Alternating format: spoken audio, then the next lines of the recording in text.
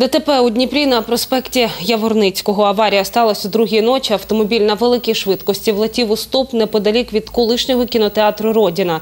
У результаті чого машина загорілась. За інформацією поліції, автомобіль переслідували патрульні, коли побачили, що той рухається по зустрічній смузі.